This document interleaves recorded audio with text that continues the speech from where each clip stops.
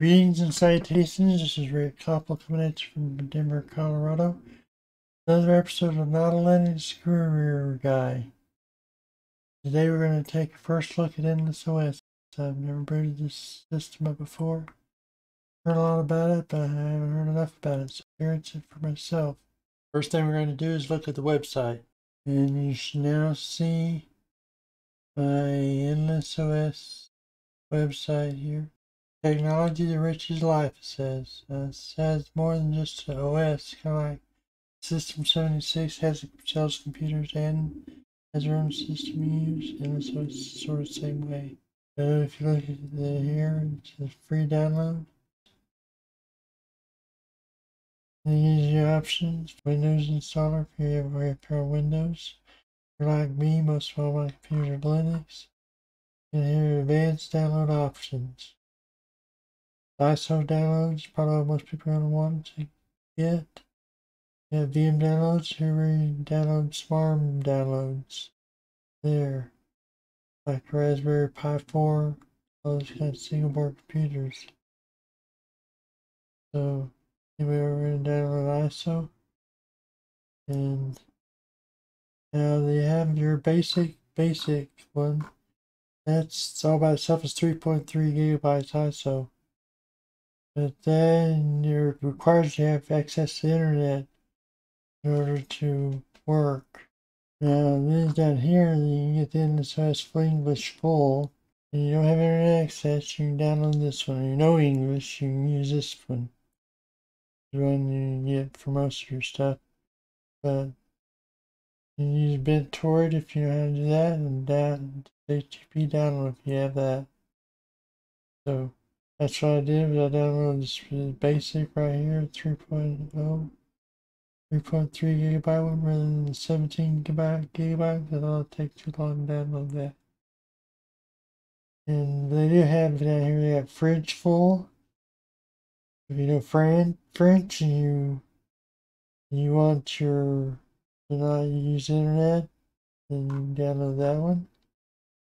Uh, the only time you need to use internet is download these things, obviously. So, then you got Portuguese, Brazilian, full. Spanish full.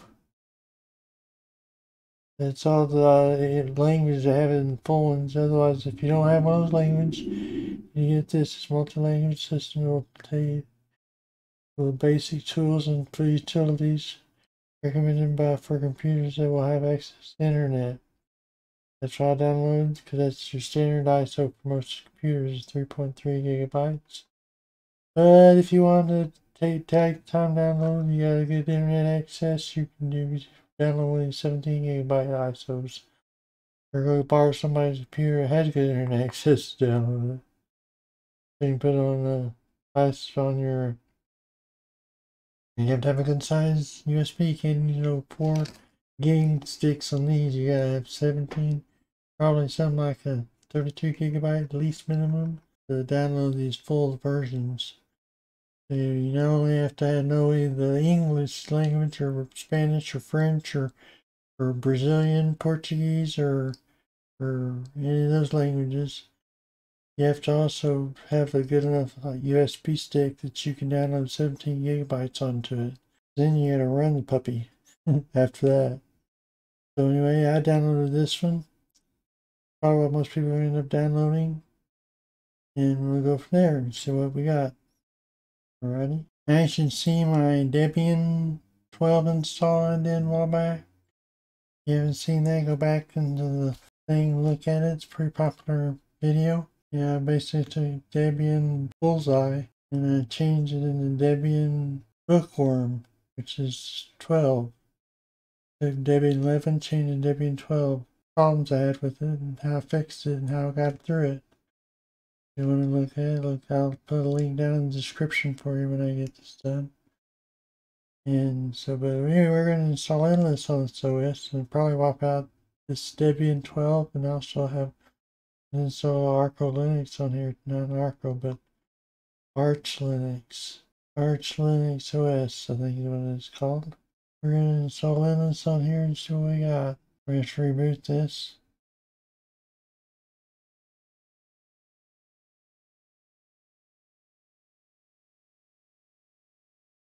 Reboot. This is my little script I've used to do uh, reboot and log out and all that kind of stuff. And it's not so easy on the.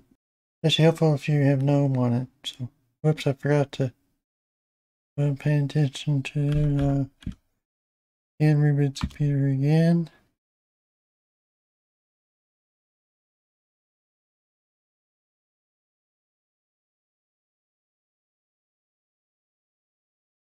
There we go.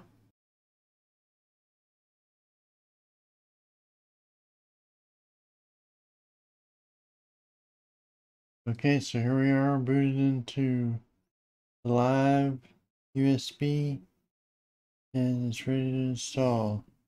We'll hit next on that. So we either can run it from the USB stick and try it out for a while, or you can reformat the computer and know it's installed Endless OS on there. So we're going to say reformat. And Endless OS basic 3.5 gigabytes. Well, we probably need to set up our internet connection. We're here.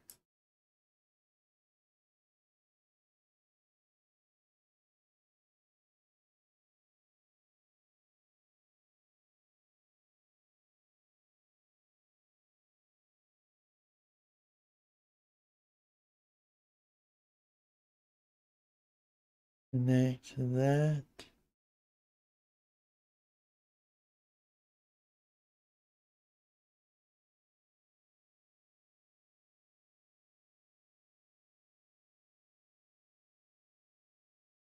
And we have internet access, yay.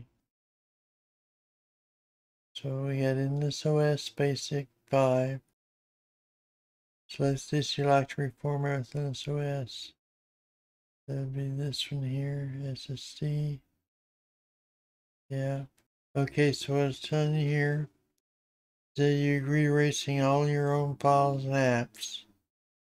They're on the disk, it looks like you have some multiple partitions on this disk, for example. Reformatting within Endless OS will erase all partitions on the selected disk. Please click here to confirm. In other words, what they don't tell you here, what I haven't seen anywhere, is I think this is a mutable system. But it doesn't mention anywhere. In mutable systems, you pretty much have to have everything just one, one system on your drive. And install alongside of another system. So you have to click here to read erasing all your files and apps.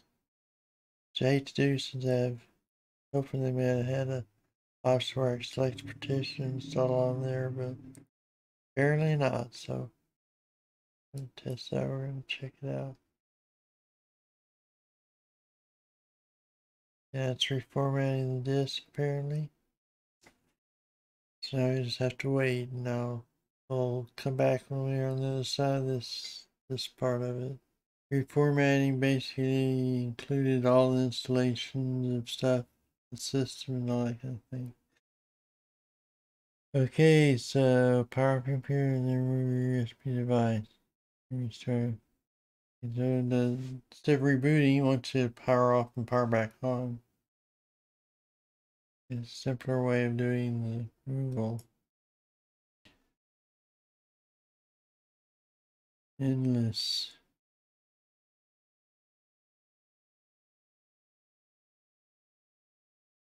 And same background we had on the live.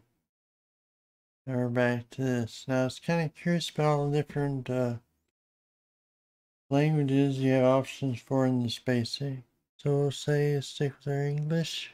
I know I know how to speak that usually. And so typing, keyboard layout, that's all stuff you set up now. Normally we get set up from the things of English. Yep. Okay, automatically save and send new statistics and problem reports to endless. All data is anonymous. Sure, I'll do that. Wi-Fi. Okay, it says it's connected. Okay. okay. Alright, that'll work for me. Then connect your online account. I'm not worry about that now. Usually connect them as I go anyway. So skip that. About me, my full name.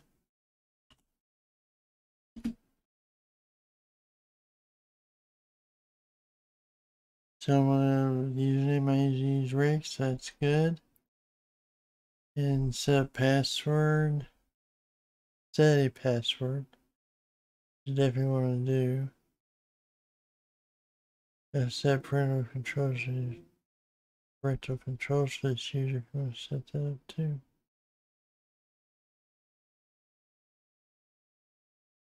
Set password Rick Copple. So using SOS, all done. Okay, so let's see what's oh man, let's take tour. Sure, we'll take a tour real quick.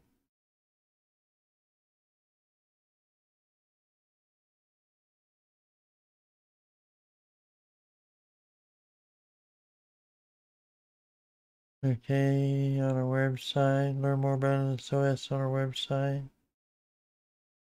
You already looked at that. Get an overview, press super key to see to open windows and apps. So, did that. I think it's a GNOME desktop, pretty much what they have here. Looks like GNOME to me.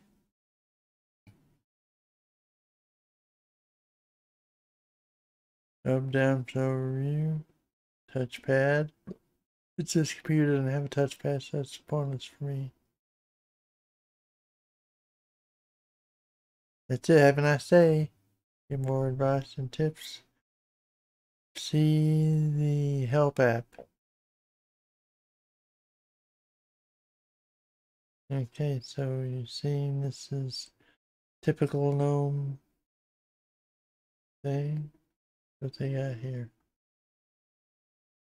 Hack. Obviously, uh, the app for hacking. Endless Hack. Unlock infinite possibilities through coding.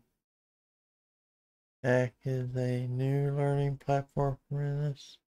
Focused on teaching the hand.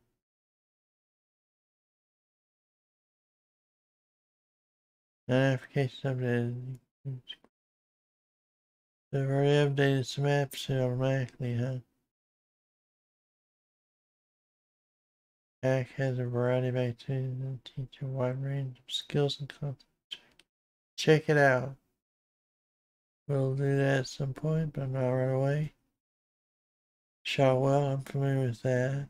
Videos, no videos, probably. System must be your uh, settings. Sidetrack. Yeah, work here. Basically, we're office. Utilities. Setting. There's your settings. what's the other thing was it? And uh, Sheen. Screenshot. Document scanner. And there's more over here. Yeah, terminal, system monitor, logs, parental control, issue, this, evolution, contacts, fonts. And you have calculator, you have your gedit, and archive manager. Yeah, it's got pretty much most of the stuff you want in there. I'm not sure what this is.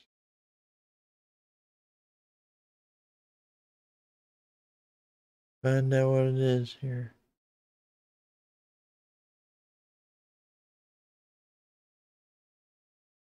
First, period sounds.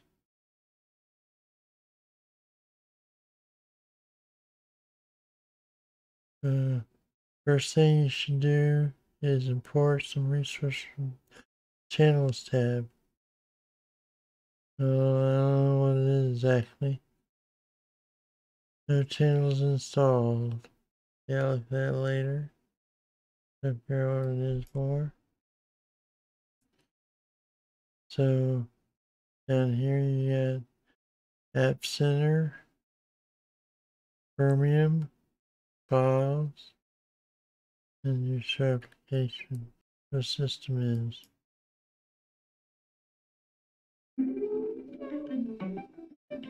Kernel clock and schedule.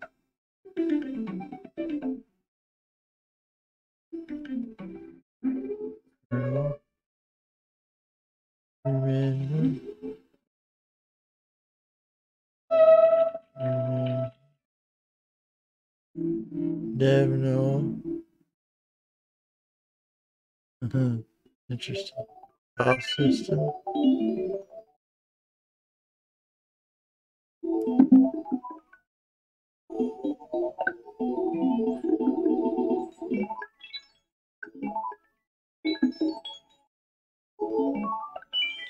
Interesting.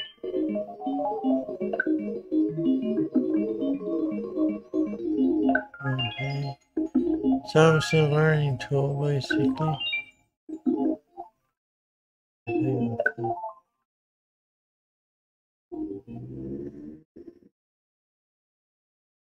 Yes, that's that. I don't know how much help that is, but I mean for some people. Sidetrack.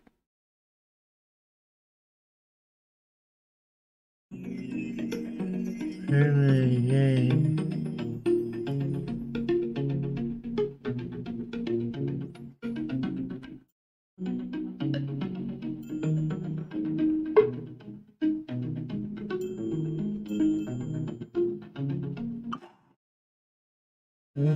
There's in there.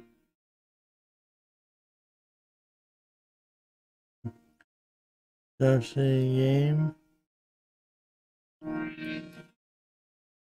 Mhm.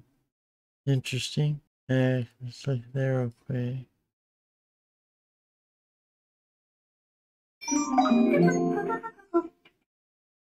Okay. Um, a Tia and let's first need to have. Okay.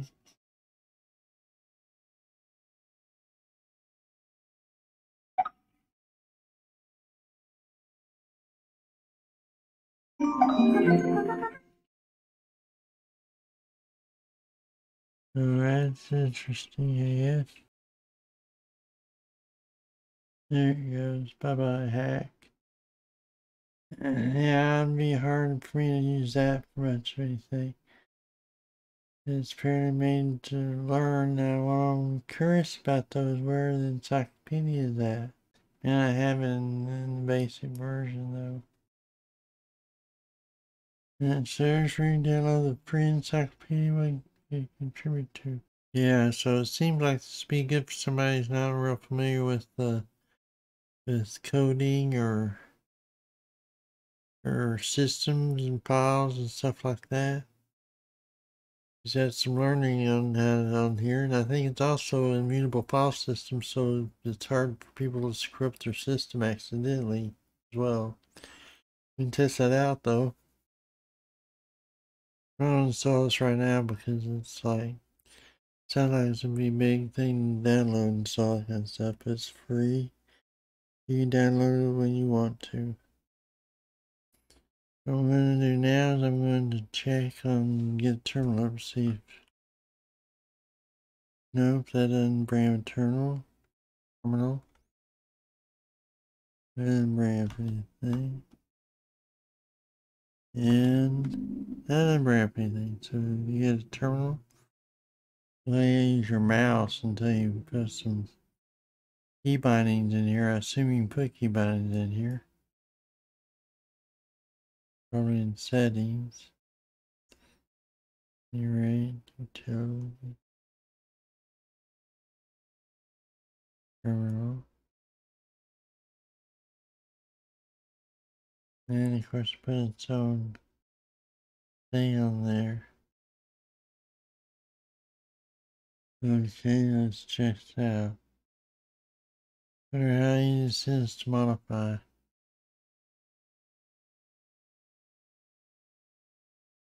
Preferences. Profile, yeah. Same thing. Custom font.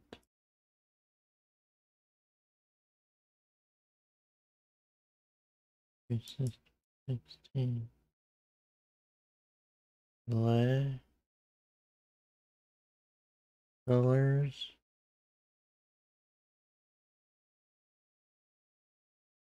Yeah, we read this.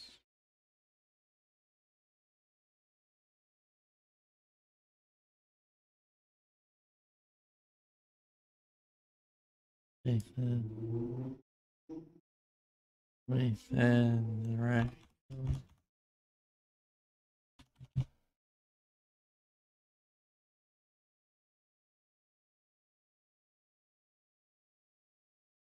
Does any top on there? It's using about a gig of data, which is about standard for GNOME desktops. Got about 8 gigs I have on here and uh, not using any swap and just minimal CPU usage.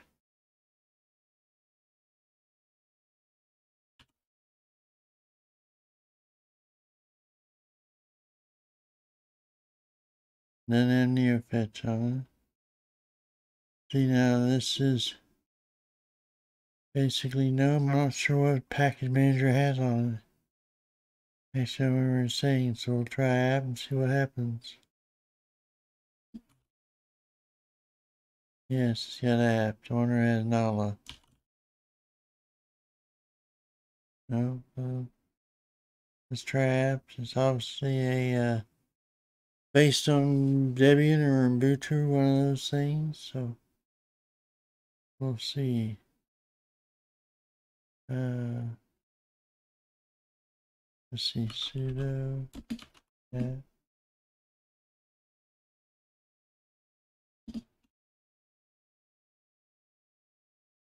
Pivot.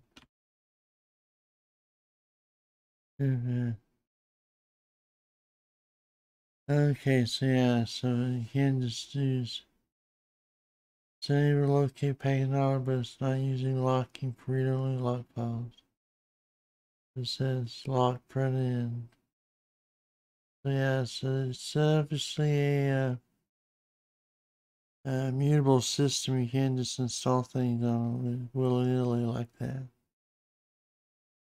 Have to learn how to do that on this particular system.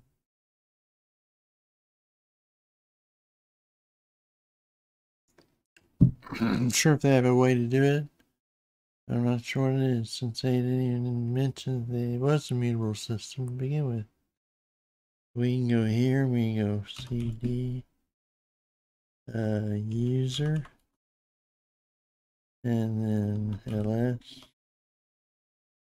Let's go, uh, yeah, let's go to share. Application.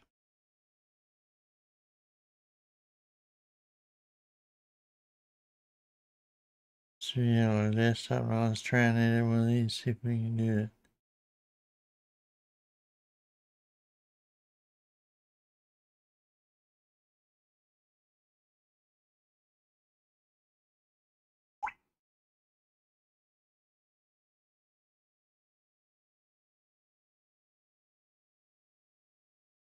Why that's showing the bottom of the.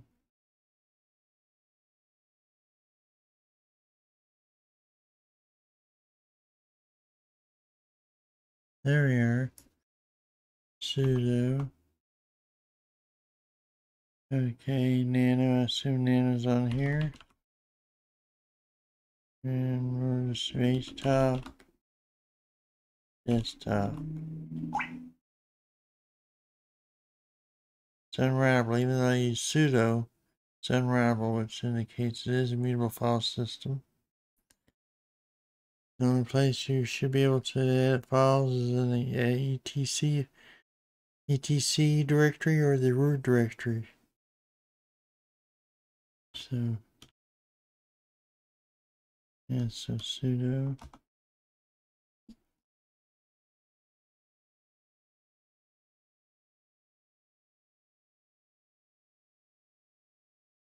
And if you want to change your uh, your host name, for instance, I would tend to do sudo. Uh, no, no, sudo nano and uh, host name. Right now, host name is endless. Let's change that my Delo.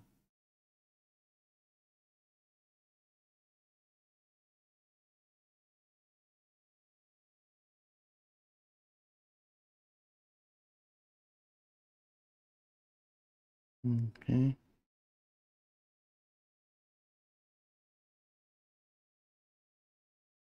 And then we need sudo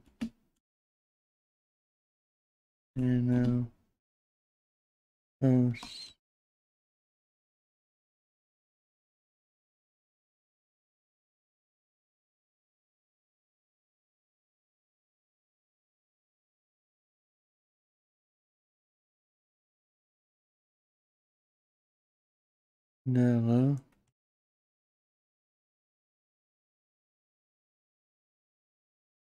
that's done there. So now if we get out this,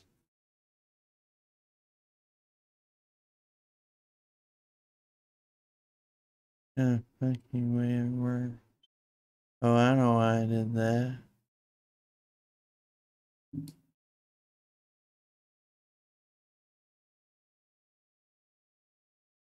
Yeah, retain everything, but that that's pretty good. Now it says in the still you reboot, you can't just you click, click, click, click. Takes four clicks to to exit out of this.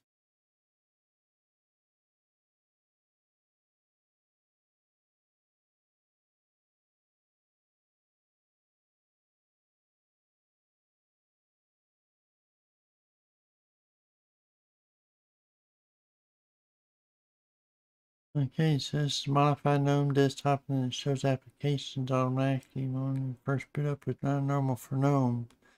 But I sort of like that since that's usually how I think of things working on applications. And of course, there's a minimal amount of application on this particular one. It'd be interesting if I had time to download the one of the big ones and see what all that on here. That seems to be Endless OS. It's immutable. I don't know how you get into it. I haven't learned that kind of thing. I don't know if it has special apps. Now, obviously, if it's immutable, then basically you install things on here is use the uh, the software center, obviously right down here, or app center they call that software. And then you most of these are gonna be Flatpaks, I think. Is what they're gonna have on here. You can put all your stuff. You can put GIMP on there. You can install transmission if you need to deal with the BitTorrent, Telegram desktop. Okay, let's see if uh, uh FlatHub. Yep, see FlatHub. That's probably about the only thing we you get yeah, Flatpaks. He said it looks like it's installed right for you out of the box. And initialize, so you don't have to do anything special. That's good news.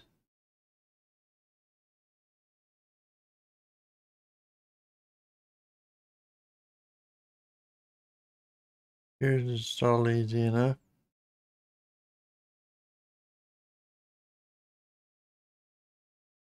And stuck it somewhere, I'm not sure where.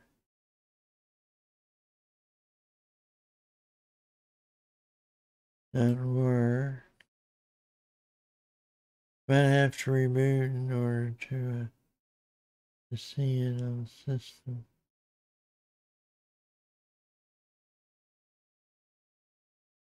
And utility.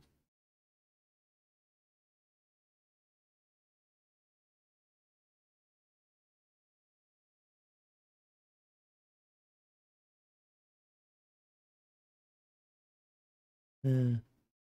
I'm gonna go back over here. I'm gonna settings. We look at those.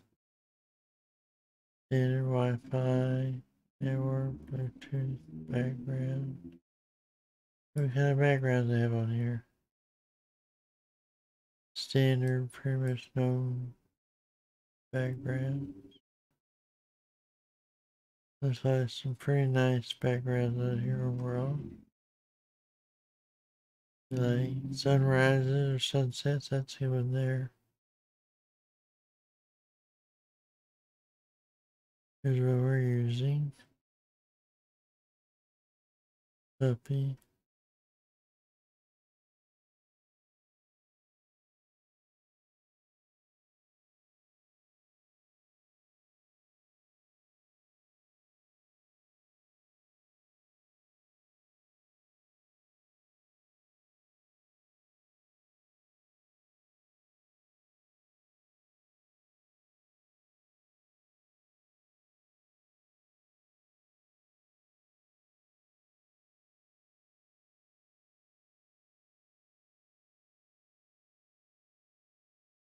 Is familiar, are not.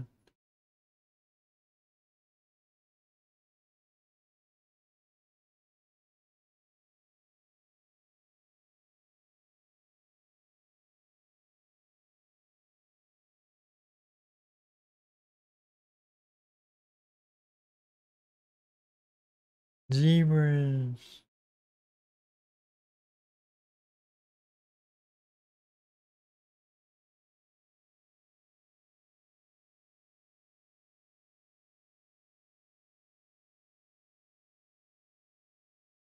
Mm-hmm.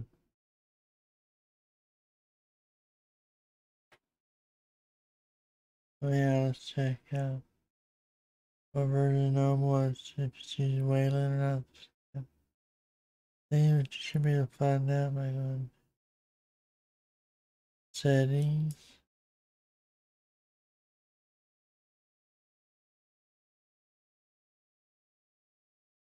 Right down here the bottom.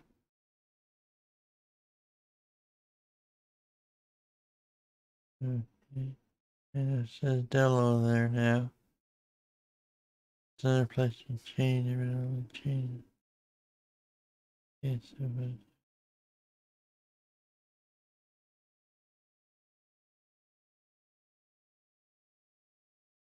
Yeah, it's using Wayland. Version 1.41.3 is no version. Sort of modern, but a little behind times. And so it's 5.02.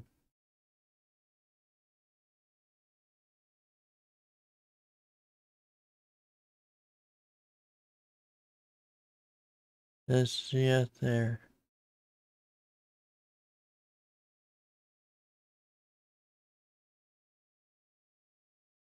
Hmm. Anything else you want to look on here? Alrighty, that's Endless OS. First look at Endless OS. Yeah, it's not too bad. It looks alright. Or, you know, aside from having a GNOME desktop, which I'm not all that crazy about, but it's alright. I can work with it if I have to. And seemed like it had some interesting programs to explore on the side uh, system and the hack. Oh, the hack's a little difficult to get out. You have to right click on there. Also, it doesn't have very many key bindings in it. It doesn't appear terminal. That's standard for GNOME though. It doesn't usually put terminal key binding in there for some weird reason. You use Control Alt T on it. Add that in if you want it. You set up keybinds however you like though, I'm pretty sure. So that's the thing you have to do in this. Unlike Archcraft, which had them all preset exactly the way I liked them, so that's cool. But I have it on my Acer laptop Archcraft. But yeah, so it's interesting. It's a little bit different, but it's good activities. But yeah, it's got some differences.